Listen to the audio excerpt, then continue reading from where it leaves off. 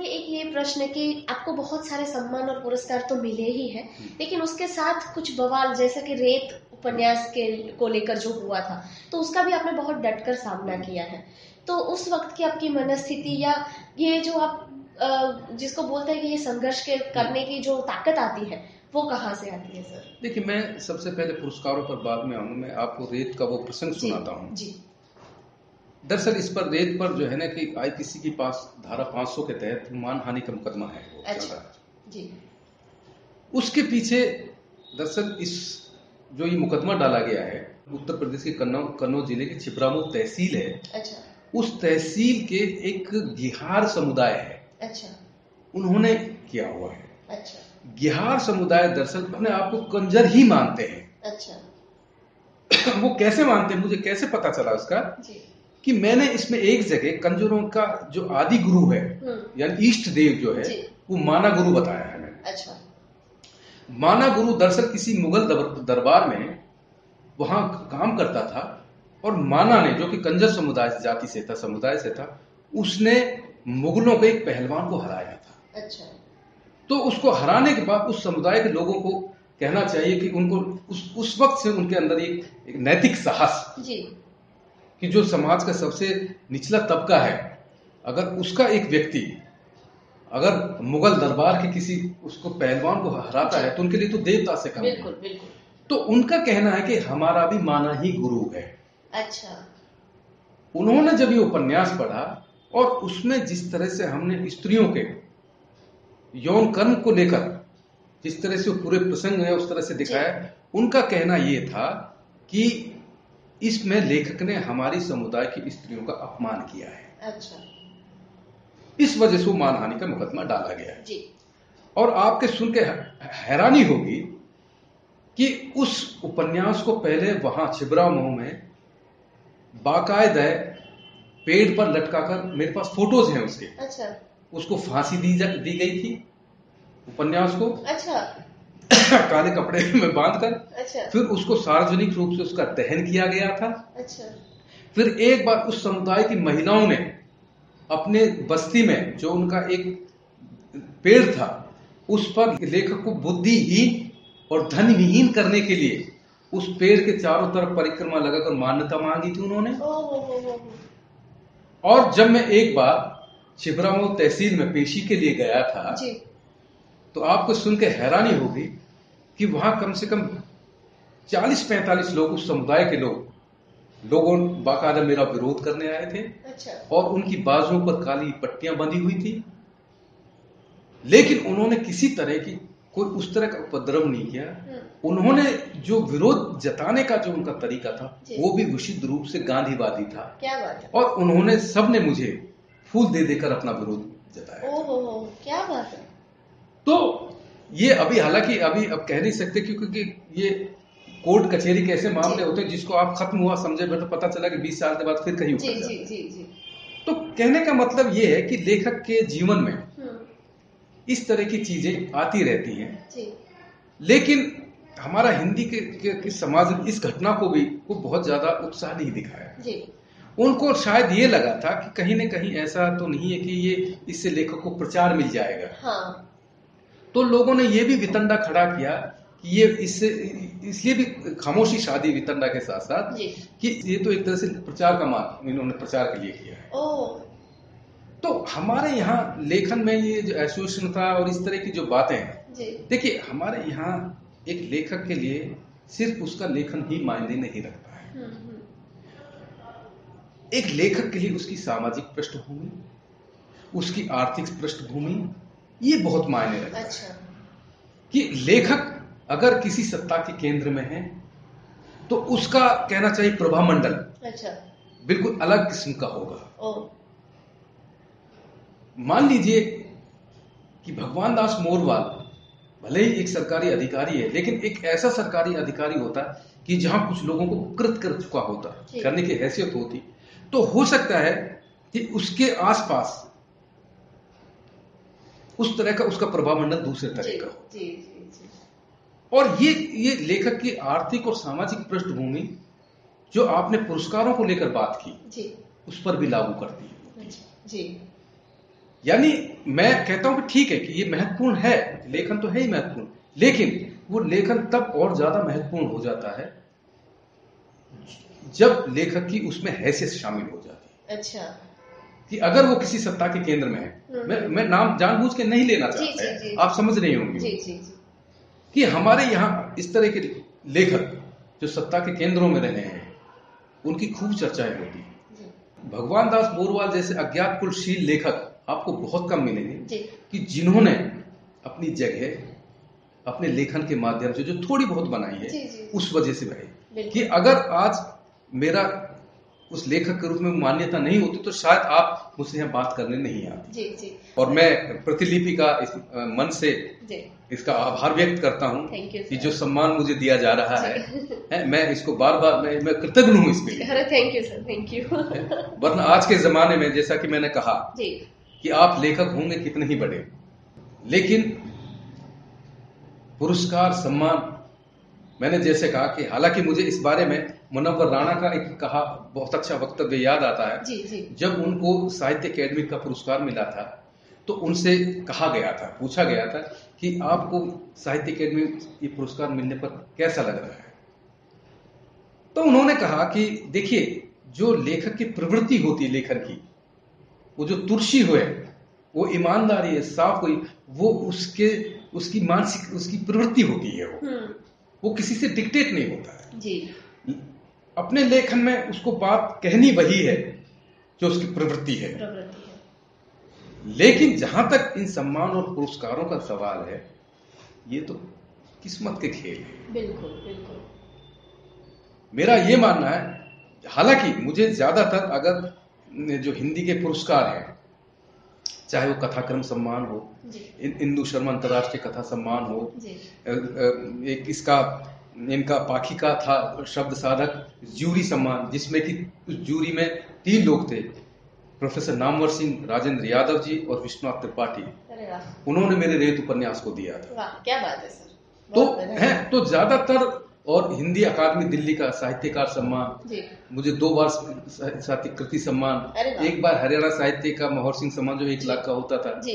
तो ऐसा नहीं है कि नहीं भी है लेकिन मेरा एक मानना यह भी है कि हमारे यहाँ जिस तरह के पुरस्कार और सम्मानों को चलाने वाले लोग हैं उनके पीछे ईमानदारी जो साहित्य को बढ़ा बढ़ावा देना या उसको प्रमोट करना वो भाव मैं समझता हूँ सिर्फ़ बीस परसेंट प्रतिशत होता है। अच्छा। बाकी अस्सी प्रतिशत वो अपने आप को एक तरह से लेखक के रूप में स्थापित करने के लिए उसके पीछे नियत जी, है। ज़्यादातर देखिए सम्मान पुरस्कार आप देखिए।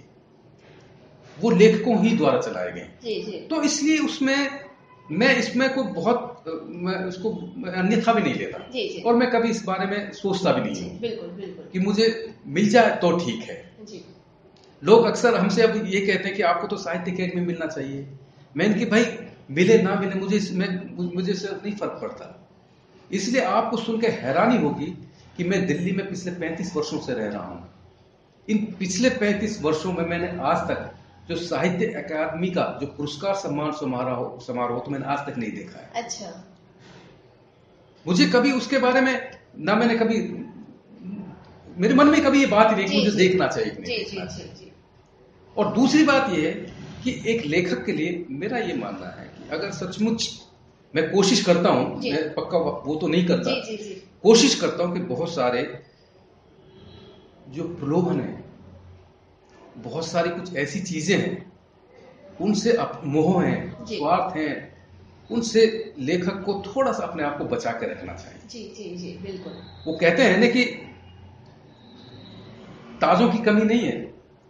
सर को सलामत रहना चाहिए। क्या बात है बिल्कुल। सम्मान पुरस्कार तो अपने आप आ जाएगी। आ जाएगी बिल्कुल सर। बशर्ते कि आप लगातार लिखते रहें। क्या बात है देखिए एक आपकी एक लेखक के रूप में मैं ये मानता हूँ मुझे पूरा विश्वास है जी। कि मेरी उपेक्षा तो हो सकती है। लेकिन मेरी मेरे महत्व और मेरी भूमिका को आप उसको नकारा नहीं नकार नहीं सकते। बिल्कुल सर बिल्कुल बिल्कुल। आप मेरी रचना से सहमत या असहमत तो हो सकते हैं। जी। आप उसका नाम तो ले नहीं ज़्यादा से ज़्यादा आप उसका ज़िक्र ही नहीं करेंगे। जी जी जी। कितने नहीं करेंगे आप? एक लेखक के लिए कुछ चीज़ें बहुत ज़रूरी होती हैं। मेरा ये मानना है कि उसके लिए सबसे पहली जो शर्त है किसी भी लेखक के लिए जी। वो वैचारिक प्रतिबद्धता है। जी। ये ज़रूरी नहीं है कि आप वामपंथी हो या दक्षिणपंथी आपको इधर या उधर तो होना पड़े जी। और वैचारिक प्रतिबद्धता ही आपकी लेखन की धार होती है। जी बिल्कुल। वही एक लेखक के व्यक्तित्व को उसके सामाजिक और पारिवारिक परिवेश को उसकी जो वैचारिक प्रतिबद्धता और वैचारिक प्रतिबद्धता कहाँ से निर्मित होती है? वो उसके सामाजिक और पारिवारिक परिवेश से ही निर्मित होती जी है। बिल्कुल। वो जैसा प्रेमचंद ने कहा है कि भाई बिगाड़ के डर से आप आप ईमान की ईमान की बात भी नहीं होगी बिल्कुल बिल्कुल। कि अगर मैं ये सोचूं कि पुरस्कारों के लिए सम्मानों के लिए मैं अपनी बात कहना उस तरीके से नहीं कहूँ हाँ हाँ। या तो मैं नहीं कहूँ ठीक है हम्म। लेकिन मैं अपने लेखन में तो उसका विरोध करता हूँ ना। हम्म, तो ये जो लेखक के लिए जो छोटे छोटे पुरस्कार सम्मान के रूप में ये जो लोभ है लालच है हालाँकि मैं सम्मान और पुरस्कारों को इस रूप में भी देखता हूँ कि उससे कोई बहुत ज़्यादा हासिल नहीं तो हाँ इससे इनसे लेखक को एक प्रोत्साहन मिलता है। मिलता उसको अपने होने का एहसास होता है जी बिल्कुल। कि समाज में पाठक को पाठकों के बीच में एक लेखक की भी अपनी कोई हैसियत है। बिल्कुल बिल्कुल। वो एक तरह से उसको मान्यता दिलाती उसके लेखन को मान्यता। जी जी। लेखक के रूप में नहीं। लेखन को मान्यता। उसकी लेखन की मान्यता। बहुत बड़ी बात बताई सर आपने। कि अगर मान लीजिए आज मेरे पहले उपन्यास काला पहाड़ को लेकर सबसे गंभीर रचना माना जाता है तो उसकी यही वजह है?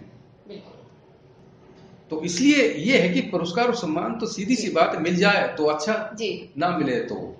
आप क्या कर सकते हैं? जी जी जी बिल्कुल। अब उसके उसके उसके उसके कुंठाओं में या उसके। अवसाद में आप लिखना तो नहीं, छोड़ सकते बिल्कुल सर बिल्कुल।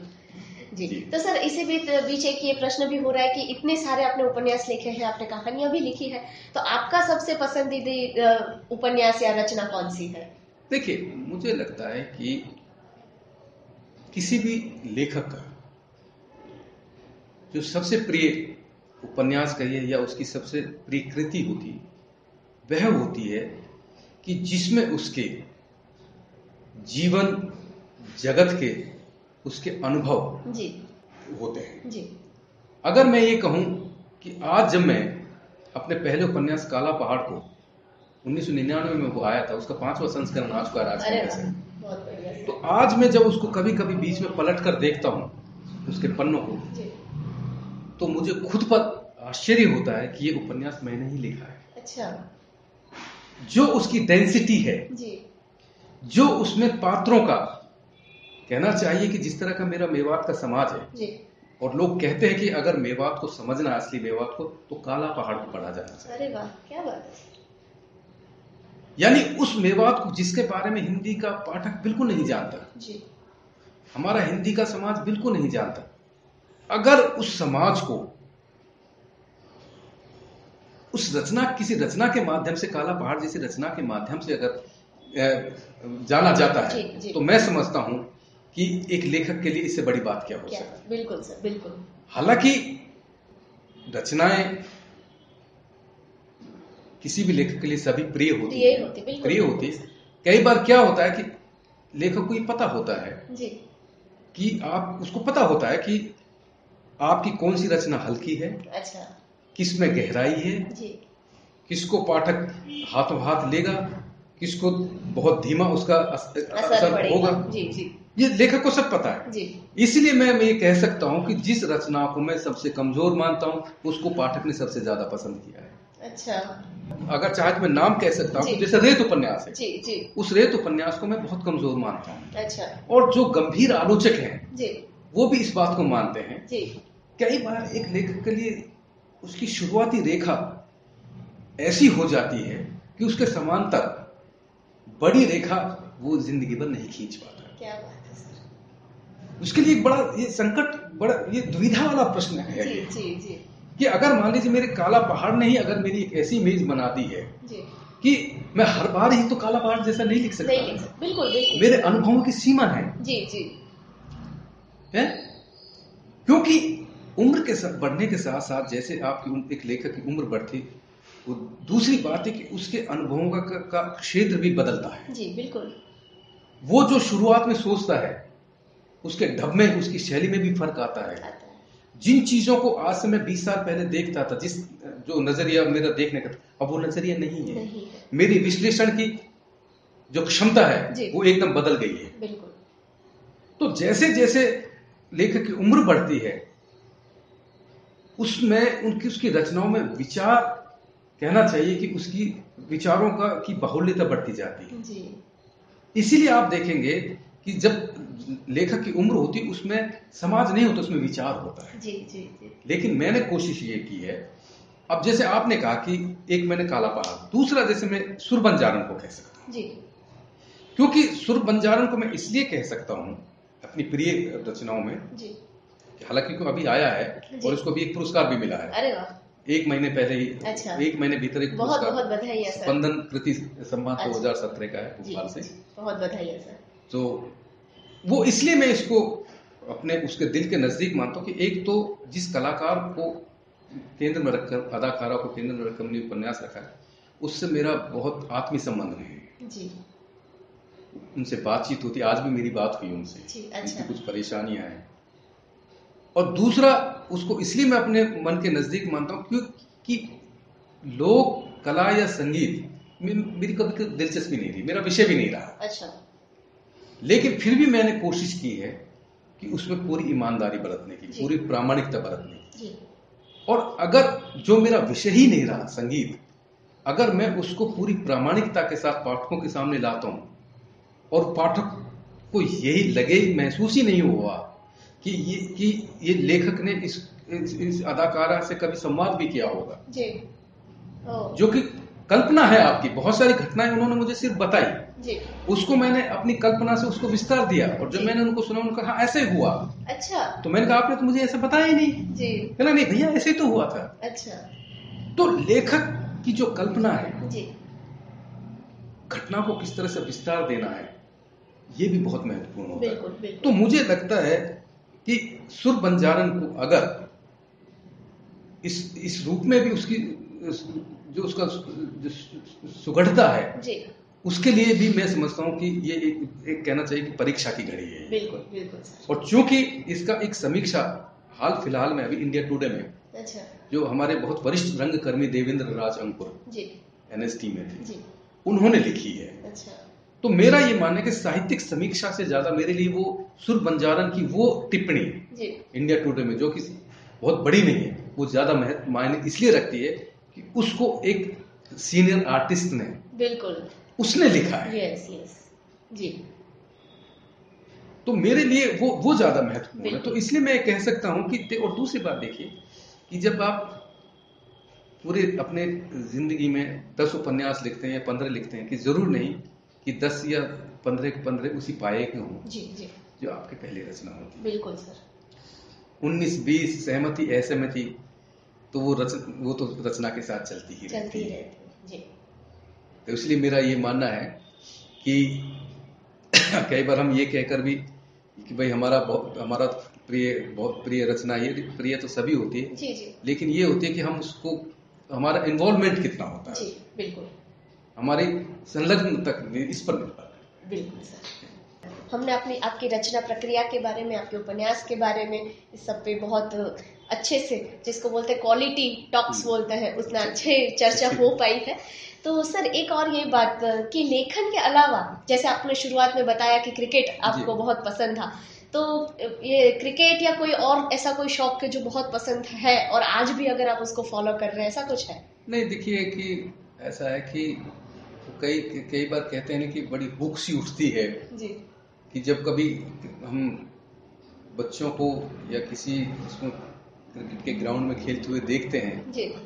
तो मन में एक बड़ा एक भूख सी उठती है अच्छा। और मन करता है कि ये जो विकेट कीपर ने ये जो ग्लव्स ये जो पैड्स बांधे हुए हैं जी। और ग्लव्स डाले हुए हैं तो कई बार मन करता है कि इन ग्लव्स को पहनकर मैं विकेट के पीछे एक बार फिर से खड़ा हूँ। क्या बात है। और अभी कुछ वर्षों पहले तक क्योंकि हमारा ये जो ऑफ़िस है जिसमें मैं काम करता हूँ ये महिला एवं बाल विकास मंत्रालय के तहत आता है। जी। तो अभी कुछ वर्षों पहले तक जो दिल्ली में इंटर मिनिस्ट्रियल टूर्नामेंट होते थे अच्छा। तो हम लोग मिनिस्ट्री की तरफ़ से खेलने जाते थे। अच्छा। और जो इंटर जो सेक्रेटरीट ग्राउंड है एक हम्म। ये जो कहना चाहिए कि अशोका होटल की तरफ़ जी।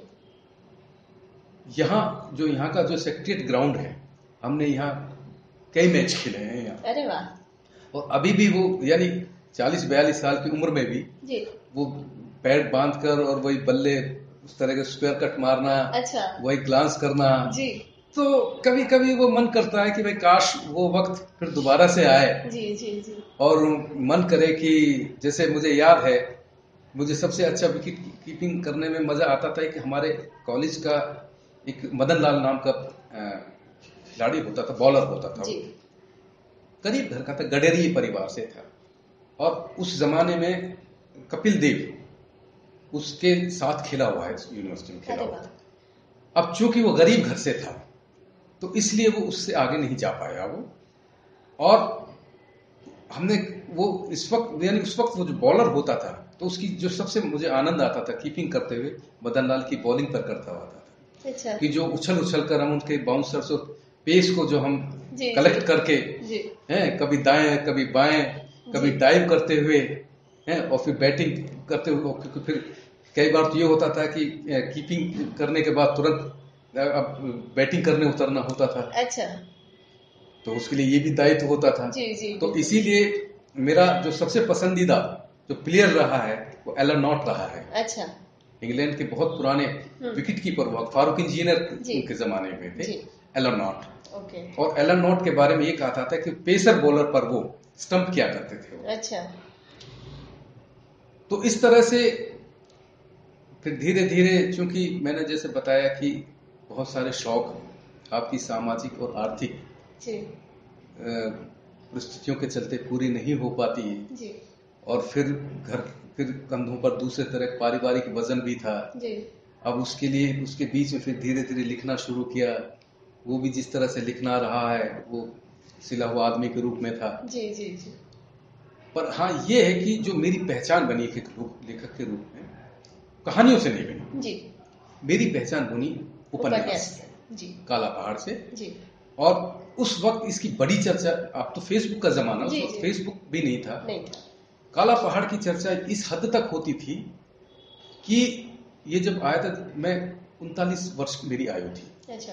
तो उस वक्त ये बड़ी साहित्यिक जगत में बड़ी चर्चा होती थी कि उनतालीस साल की एक लेखक की पहली इस तरह की काला पहाड़ जैसी रचना का। अच्छा जी जी बहुत बढ़िया। और लोग हमें ये समझते थे कि जैसा मेरा नाम है कि ये कोई उम्र दराज जी। लेखक रहा होगा पैसे से अच्छा। जी जी। हाँ जी। जी।